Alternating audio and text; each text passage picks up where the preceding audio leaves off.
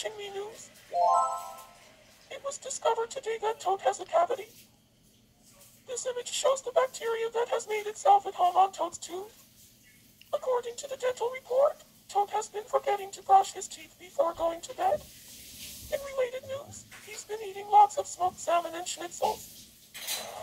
He asked some islanders for their thoughts on the matter. Why didn't you tell me this sooner?